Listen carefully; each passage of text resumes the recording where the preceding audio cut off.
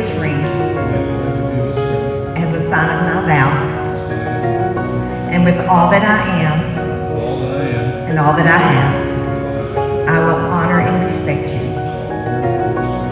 In the name of the Father, the Son, and the Holy Spirit.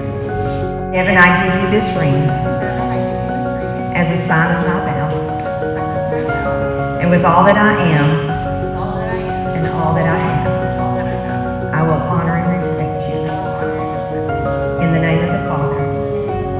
the sun.